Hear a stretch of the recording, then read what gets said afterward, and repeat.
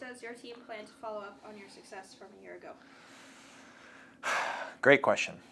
I think, and this isn't just the, the political answer, I think every year um, our team takes on a different definition of what success is. Um, two years ago, it was, hey, make the OUA Final Four. Um, last year was make the national tournament. Um, this year, um, I think we have the potential to be as good as any other team that we've had in the past. But the tricky thing is, is the experience piece. Um, I think the talent is there. I think the desire is there. I think the, the IQ, the personnel, definitely there. Um, we're going to lack in some games the experience of the, the Alexes, the Armines, the, the guys that have, that have left us. Um, although we've got some returners that can hopefully fill that void, um, again, that experience piece will, will might take our lumps this year. But potential wise and talent wise, the sky's the limit for this team. Yeah, I think we lost our top two scores in Alex and Armin. I wish I had that answer. Um, we're going to be looking towards guys like Martin and Luca Lee, uh, our wings, and even our strikers too. We have Victor, who's a two-time OUA All-Star. We have Jamie Baker, who's returning, who's an OUA Rookie of the Year, and an incoming class that's that's rivaled any other incoming class we've had. Um, so I think the onus now falls on the returning guys, the the Luca Lees, the Martins, the, the guys in behind them, and the Victors, the Jamies. Um, we're gonna have to spread the wealth this year for sure. Whereas last year was give the ball to Alex and Armin and move out of the way. This year it's gonna have to be a, a lot more uh, concentrated effort.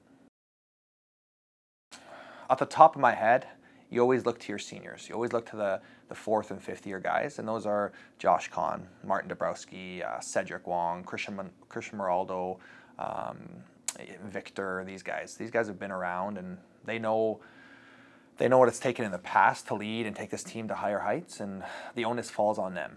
But that doesn't mean that the first year players or the second year players can't lead in some ways as well. Um, I think a team that is that is leader full is is the best approach, not just one guy. This is our guy, right? I think everyone plays a part in that, and and it was never more evident than this preseason in practice we found ourselves players stopping drills and coaching, right? We, we're not only educating our whole team from the coaching point of view, but fourth and fifth year veterans are, are stepping in and helping out that learning process for the first year guys.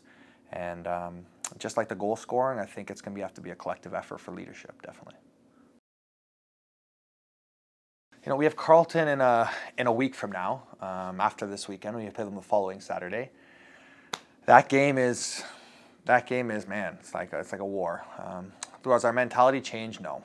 Um, and our mentality in the first third of the season, believe it or not, isn't to win every single game. Where you, you might think where we had a year like last year, oh, we got to win every game. It's not that. It's to try things. It's to develop the team chemistry. It's to see where we're at, who can do what job for our team. Um, the second, you know, phase of the season, the third phase of the season are much different than the first. So different mentality. No, we're here to work on things. We're here to grow from day one to the last game to prepare ourselves for a playoff run. Nipissing and, and Laurentian, I think last year we squeaked by Nipissing by a goal, Laurentian by a goal at their place, and when they come here, it's it's there's no easy games in the OUA. So um, we got our hands full for with both of them, and the mentality, no, it doesn't really change. It's it's it's a time to work on things, and it's time to grow.